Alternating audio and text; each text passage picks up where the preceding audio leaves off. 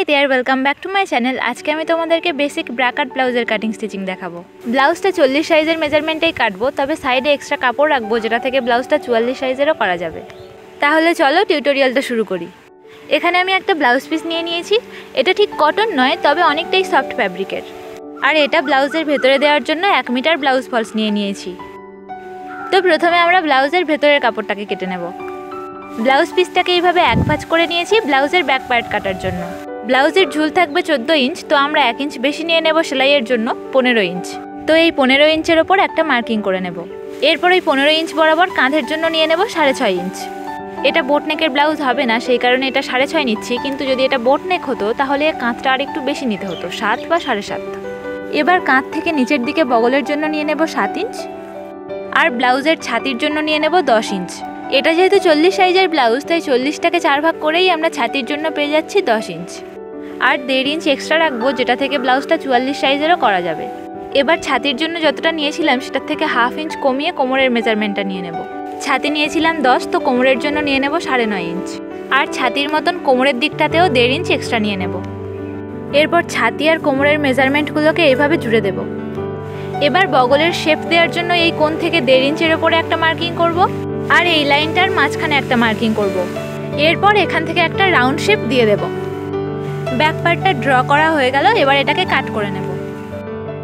Back part কাটা হয়ে গেলে ফ্রন্ট পার্ট কাটিংয়ের জন্য ব্লাউজ ফলসটাকে আবারও এক ভাঁজ করে নেব আর এটার খোলা দিকটাকে সামনে রাখব। এরপর ব্যাক পার্টটাকে এটার ওপর রাখব এবং নিচের দিকে হাফ ইঞ্চ এক্সট্রা রেখে ব্যাক পার্টের মাপে এটাকে কাট করে নেব। এরপর ব্যাক পার্টটাকে সরিয়ে নিয়ে এটা থেকে ছোট ছোট পার্ট কাট করে নেব। প্রথমে বগলের দিক থেকে এইভাবে হাফ ইঞ্চ কমিয়ে নেব। ব্যাক পার্টের থেকে ফ্রন্ট পার্টের বগল এরকম হাফ ইঞ্চ কমিয়ে নিলে ফিটিংস ভালো আসে। এইভাবে হাফ ইঞ্চ কমিয়ে নিয়েছি, এবার ফ্রন্ট পার্টের গলাটা কাট করে নেব।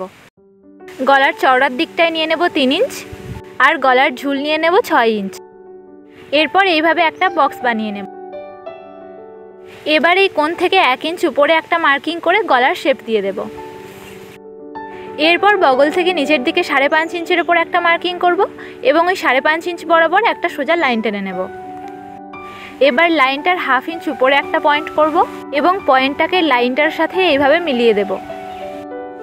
এরপর লাইনের এই ধার থেকে পাঁচ ইঞ্চিতে একটা মার্কিং করব এবং বগলের মাঝখানে আড়াই ইঞ্চিতে একটা মার্কিং করব। এরপর এই পয়েন্টগুলোকে মিলিয়ে দিয়ে একটা রাউন্ড শেপ বানিয়ে নেব। এবার এটাকে কাট করে নেব। কাট করা হয়ে গেছে। এখন এই দুটো পার্টকে আর বাড়াতে হবে না। এই দুটো পার্টকে সরিয়ে রাখব। এবার এই যে পার্টটা আছে, এটাকে প্রথমে কাট করে নেব এবং তারপর অল্প অল্প করে বাড়িয়ে নেব। এটার মাঝখানে ওপর দিক থেকে নিয়ে নেব পাঁচ ইঞ্চ। এই সাইডের নিচ থেকে নিয়ে নেব তিন ইঞ্চ। আর এই সাইডের ওপর থেকে নিয়ে নেব তিন ইঞ্চ। এরপর পয়েন্টগুলোকে এইভাবে জুড়ে দিয়ে কাট করে নেব।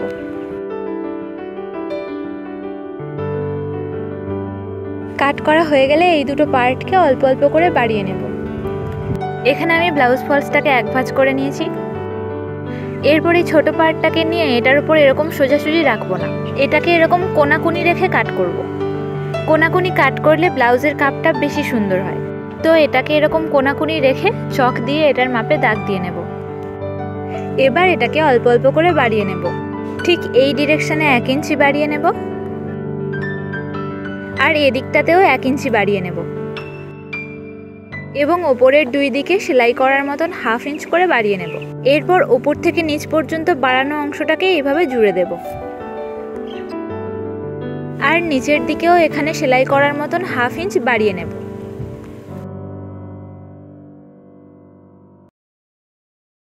এরপর এটাকে কাট করে নেব। এই পার্টটাকে বাড়ানো হয়ে গেল, এবার এটার নিচের পার্টটাকে বাড়িয়ে নেব।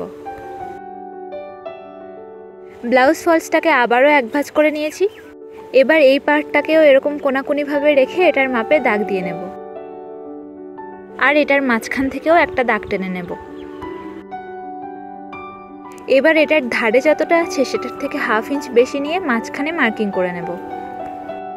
এটার ধারে তিন ইঞ্চ ছিল, তো মাঝখানে সাড়ে তিন ইঞ্চ নিয়ে নিয়েছি। এরপর ওই মার্কিংটাকে এইভাবে দুই ধারে জুড়ে দেব। এবার এই ডিরেকশানে এক ইঞ্চ বাড়িয়ে নেব। আর এই দিকটাতেও এক ইঞ্চ বাড়িয়ে নেব।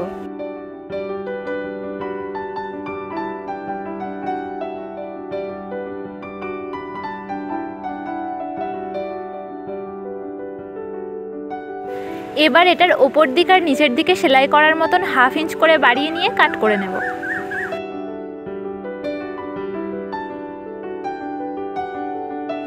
এই দুটো পার্টকে বাড়িয়ে নিয়েছি।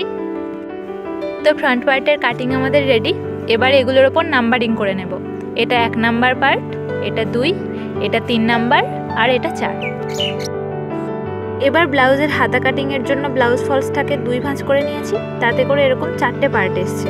আর জোড়া দিকটাকে এরকম সামনে রেখেছি। এরপর ব্লাউজের হাতের ঝুল নিয়ে নেব। ঝুল থাকবে নয় ইঞ্চ তো আমরা এক ইঞ্চ এক্সট্রা নিয়ে নেব সেলাইয়ের জন্য দশ ইঞ্চ এরপর এই দশ ইঞ্চ বরাবর একটা সোজা দাগ টেনে নেব। আর এই দাগটা থেকে তিন ইঞ্চ নিচে আরও একটা দাগ টেনে নেব। হাতের চওড়াটা হবে বারো ইঞ্চ, তো বারোর হাফ করে আমরা এখানে নিয়ে নেব ছয় ইঞ্চ। আর দেড় ইঞ্চ এক্সট্রা। এরপর ব্লাউজের ব্যাক পার্টের বগলটাকে এইভাবে কোনাকুনি মেপে নেব। আমরা পেয়ে যাচ্ছি সাড়ে সাত ইঞ্চ, আর দেড় ইঞ্চ এক্সট্রা। তো ওই সাড়ে সাত ইঞ্চটাকে আমরা এই দাগটার উপরে নিয়ে নিচ্ছি আর দেড় ইঞ্চ এক্সট্রা এরপর ওপর দিকের মার্কিংগুলোর সাথে নিচের দিকের মার্কিংগুলোকে এইভাবে জুড়ে দেব। এবার এই সাড়ে সাত ইঞ্চটাকে হাফ করে নিয়ে ওপরের লাইনটার ওপর মার্কিং করে নেব এবং এই পয়েন্ট দুটোকে জুড়ে দেব। এবার ওই পয়েন্টের হাফ ইঞ্চ নিচ থেকে এইভাবে রাউন্ড শেপ দিয়ে দেব। দিয়ে এটাকে কাট করে নেব। তাহলে ব্লাউজের সবগুলো পার্টি কাট করা হয়ে গেল। হাতা ব্যাক পার্ট আর এগুলো ফ্রন্ট পার্ট এরপর এই কাট করা পার্টগুলোর মাপে ব্লাউজ পিসটাকে কাট করে নেব। ব্লাউজ পিসটাকে কাট করে নিয়েছি, এবার আমরা স্টিচিংয়ে চলে আসব। প্রথমে আমরা ফ্রন্ট পার্টটাকে রেডি করে নেব। এই এক নাম্বার আর দু নাম্বার পার্টটাকে আমরা প্রথমে জুড়ে নেব। এই দুটো পার্টকে এইভাবে দুই সাইডের জন্য খুলে নেব এবং ইনার ফ্যাব্রিকের ওপর আউটার ফ্যাব্রিকগুলোকে রাখব। এরপর একটা পার্টের উপর আরেকটা পার্টকে এইভাবে রেখে সেলাইয়ের জন্য যতটা এক্সট্রা রেখেছিলাম, সেই লাইন বরাবর সেলাই দিয়ে নেব। সেলাই দেওয়া হয়ে গেলে এটাকে এইভাবে উল্টে নেব। এবং এটার একদম ধার থেকে সেলাই দিয়ে ইনার ফ্যাব্রিক আর আউটার ফ্যাব্রিকটাকে অ্যাটাচ করে নেব। অ্যাটাচ করা হয়ে গেলে এক্সট্রা আউটার ফ্যাব্রিকগুলোকে কাট করে দেব। এক্সট্রা আউটার ফ্যাব্রিকগুলোকে কাট করে নিয়েছি। এবার এটার মাঝখান থেকে এইভাবে ফোল্ড করে নেব। এবং এক ইঞ্চির টেকিং ড্র করে নিয়ে সেলাই করে নেব।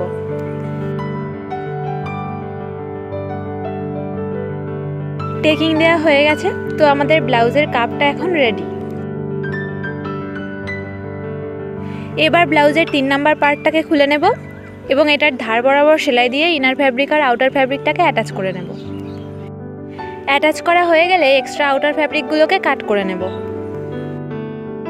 এরপর এটার সাথে ব্লাউজের কাপটাকে জুড়ে নেব আর জোড়াটাকে ওপর দিক থেকে স্টার্ট করব। ব্লাউজের কাপটা জোড়া হয়ে গেছে, এবার এটার সাথে চার নাম্বার পার্টটাকে জুড়ে নেব। চার নাম্বার পার্টের ইনার ফ্যাব্রিকের সাথে আউটার ফ্যাব্রিকটাকে অ্যাটাচ করে নিয়েছি এবং এক্সট্রা আউটার ফ্যাব্রিকগুলোকে কাট করে নিয়েছি। এবার চার নাম্বার পার্টটাকে এইভাবে জুড়ে নেব। জোড়া হয়ে গেলে চার নাম্বার পার্টটাকে উল্টে নিয়ে এটার ওপর দিয়ে একটা চাপ সেলাই দিয়ে নেব। তো ফ্রন্ট পার্টের একটা সাইড মোটামুটিভাবে রেডি হয়ে গেছে, একইভাবে আরও একটা সাইড রেডি করে নেব। দুটো সাইড রেডি হয়ে গেলে হুকের বর্ডারগুলোকে সেলাই করে নেব। প্রথমে ডান দিকের পার্টের ওপর দুই ইঞ্চি চওড়ার একটা ইনার ফ্যাব্রিক রেখে ধার থেকে জুড়ে নেব। জোড়া হয়ে গেলে বর্ডার ফ্যাব্রিকটাকে এইভাবে উল্টে নিয়ে বর্ডার ফ্যাব্রিকের ওপর দিয়ে একটা চাপ সেলাই দিয়ে নেব। চাপ সেলাই দেওয়া হয়ে গেলে বর্ডার ফ্যাব্রিকটাকে এইভাবে উল্টো দিক থেকে ফোল্ড করে নিয়ে সেলাই দিয়ে নেব। এখানে হুকগুলোকে স্টিচ করব, সেই কারণে বর্ডারটাকে এরকম এক ইঞ্চ মতন চওড়া করে সেলাই করব। তো আমাদের ডান সাইডের পার্টের হুকের বর্ডারটা রেডি হয়ে গেল। এবার আমরা বাম দিকের পার্টের হুকের বর্ডারটা স্টিচ করে নেব। এখানে তিন ইঞ্চি চওড়ার একটা ইনার ফ্যাব্রিকের ওপর বাম দিকের পার্টটাকে রেখে ধার থেকে জুড়ে নেব। এরপর বর্ডার ফ্যাব্রিকটাকে এইভাবে ফোল্ড করে নিয়ে হাফ ইঞ্চ মতন বাইরের দিকে এক্সট্রা রেখে সেলাই করে নেব। এই পার্টটাতে হুকের ঘরগুলো স্টিচ করব, সেই কারণে এটাকে হাফ ইঞ্চ মতন বাড়িয়ে নিতে হচ্ছে।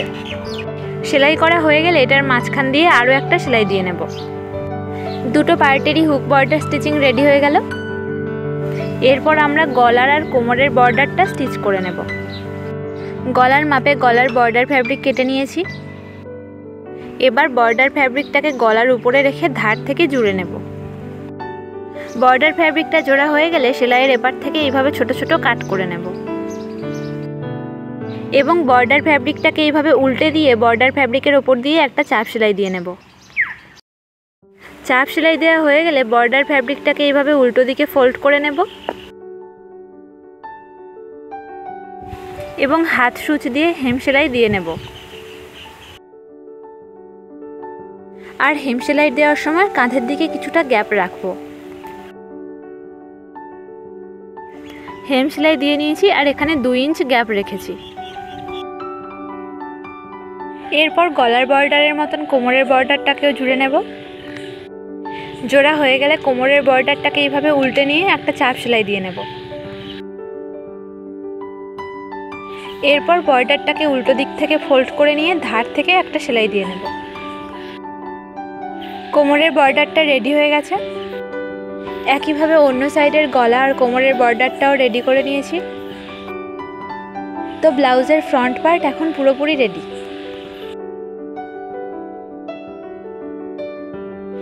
এরপর আমরা ব্যাক পার্টটা রেডি করে নেব। ব্যাক পার্টের ইনার ফ্যাব্রিকটাকে নিয়ে ব্যাক পার্টের গলার ডিজাইনটা কাট করে নেব। গলার চওড়ার দিকটায় নিয়ে নেব তিন ইঞ্চ আর পিঠ রাখব সাড়ে পাঁচ ইঞ্চ। এরপর এইভাবে চৌকো গলার শেপ দিয়ে দেব।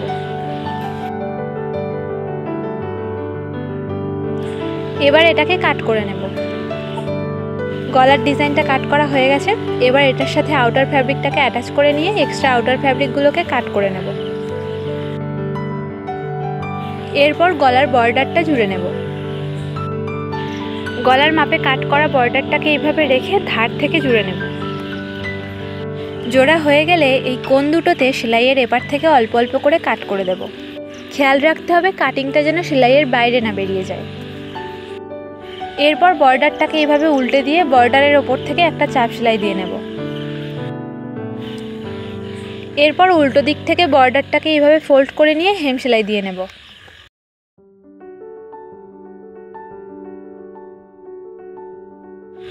ব্যাক পার্টের গলাটা রেডি হয়ে গেছে।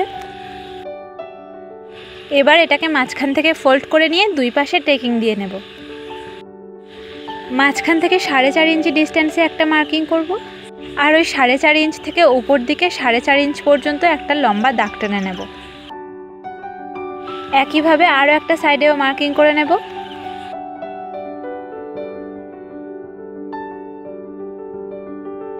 এবার ওই লম্বা দাগগুলোকে এইভাবে ফোল্ড করে নেব। এবং এক সেমি চওড়ার একটা টেকিং ড্র করে নেব। এরপর ওই টেকিংটাকে সেলাই করে নেব। একইভাবে আরও একটা টেকিং সেলাই করে নেব। এরপর কোমরের বর্ডারটাকে জুড়ে নেব। ফ্রন্ট পার্টের কোমরের বর্ডার যেভাবে রেডি করেছিলাম একইভাবে ব্যাক পার্টের কোমরের বর্ডারটাও রেডি করে নেব।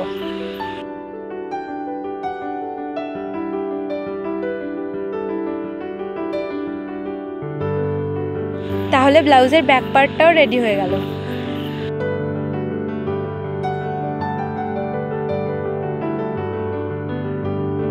এবার ব্লাউজের কাঁধগুলোকে জুড়ে নেব। ব্লাউজের ফ্রন্ট পার্টটাকে ব্যাক পার্টের উপরে এইভাবে রাখব। এবার ফ্রন্ট পার্টের গলার বর্ডারে যে গ্যাপটা রেখেছিলাম, সেটাকে এইভাবে উল্টো দিকে ফোল্ড করে নিয়ে জুড়ে নেব।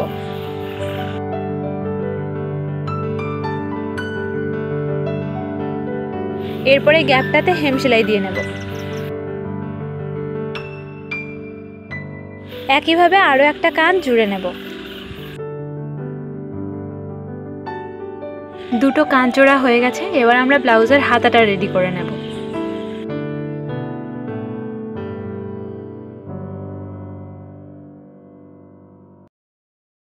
হাতার আউটার ফ্যাব্রিকের উপর ইনার ফ্যাব্রিকটাকে এইভাবে রেখে ধার থেকে জুড়ে নেব। এরপর ইনার ফ্যাব্রিকটাকে এইভাবে উল্টে নিয়ে ইনার ফ্যাব্রিকের ওপর দিয়ে একটা চাপ সেলাই দিয়ে নেব। চাপ সেলাই দেওয়া হয়ে গেলে ইনার ফ্যাব্রিকটাকে এইভাবে ভেতরে মুড়ে নিয়ে হাতার ওপর থেকে একটা সেলাই দিয়ে নেব। এরপর হাতার ইনার ফ্যাব্রিক আর আউটার ফ্যাব্রিকটাকে এইভাবে ধার থেকে সেলাই করে নিয়ে অ্যাটাচ করে নেব। অ্যাটাচ করা হয়ে গেলে এক্সট্রা আউটার ফ্যাব্রিকগুলোকে কাট করে নেব। একইভাবে আরও একটা হাতা রেডি করে নেব। এবং হাতা দুটোর মাঝখানে একটা ছোট কাটিং রাখব। এরপর দুটো হাতার সামনের পার্ট থেকে এইভাবে হাফ ইঞ্চ মতন করে কাট করে নেব। যে দিকটাতে কাটিং রাখছি, সেটা ব্লাউজের সামনের পার্টের সাথে অ্যাটাচ হবে। তো এইভাবে দুটো হাতাকে দুদিকের জন্য কেটে নেব। তো এটা আমি বাম হাতের জন্য কেটেছি আর এটা ডান হাতের জন্য। এবার আমরা বাম হাতটাকে ব্লাউজের সাথে জুড়ে নেব। হাতের কাটা দিকটা এই সামনের পার্টের সাথেই অ্যাটাচ হবে। এবার হাতার মাঝখানে যে ছোট কাটিংটা রেখেছিলাম, সেটাকে ব্লাউজের কাঁধের জোড়াইটার ওপর রেখে এইভাবে হাতাটাকে জুড়ে নেব।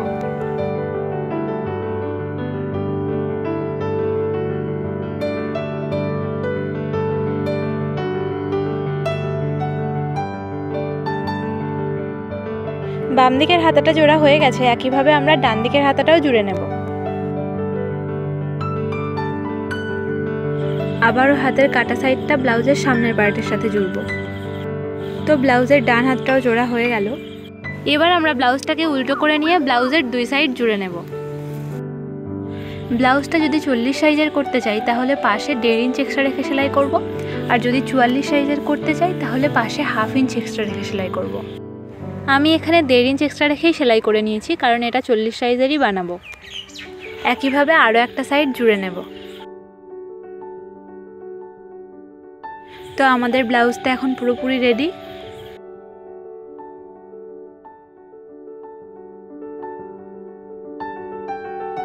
আজকের ভিডিও কেমন লাগল কমেন্ট করে অবশ্যই জানাও, আর নতুন নতুন ভিডিও পেতে চ্যানেলটাকে সাবস্ক্রাইব করে দাও।